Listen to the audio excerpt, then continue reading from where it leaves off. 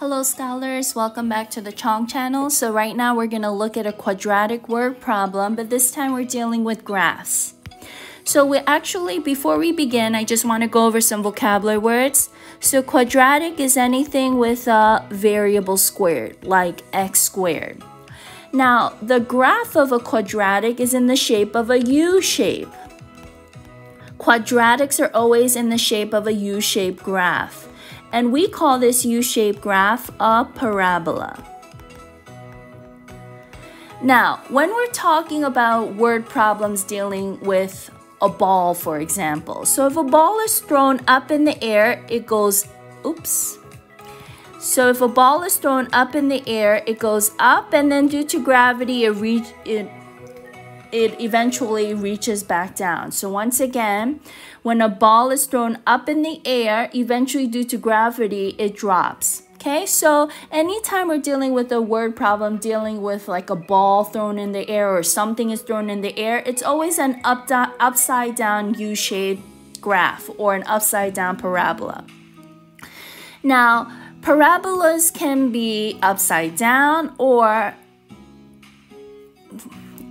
like that, okay? So quick review on vocabulary. This point here, we call it the vertex, okay? So the vertex is the turning point. So like I was saying before, when the ball was down here, it reached up and then from here went down. So this is the turning point from up to going down. So this is going down to going up. Okay, so the vertex is a turning point and it's either going to be a maximum or a minimum. Now we're focused today on a ball thrown in the air. So let's focus on maximum. So what is maximum?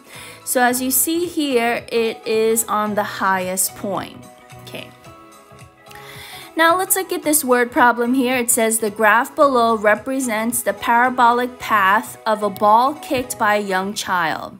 So once again, when a ball is thrown in the air, it was starting from the ground, then it reached up, and then due to gravity, it goes back down again.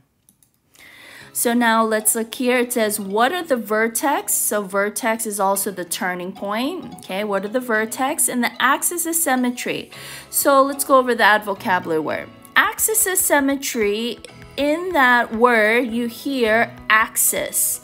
An axis, an axe is something that cuts it in half. So the axis of symmetry is the line that cuts the parabola in half.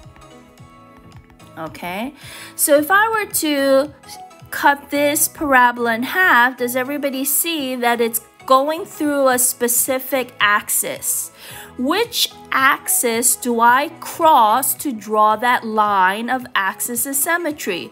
I cross the x-axis. So if you cross the x-axis, your equation of that axis of symmetry is x equals.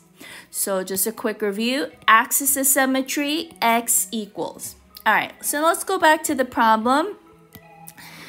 So here, ball went up, then it reached the turning point or which we call the vertex and specifically the vertex here is actually the maximum because it reached the highest point and then eventually it started going down. Okay, so what is the vertex here? One, two, three, three, comma, one, two, three, four, five, six, seven, eight. So it's three, comma, eight.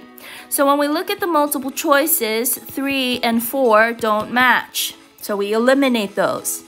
Next part. So once again, axis of symmetry is the line that we draw to cut that parabola in half. And so which axis did we cross to do that? It's x equals 3. And so it is choice 1. Okay, I hope that helped. Bye-bye.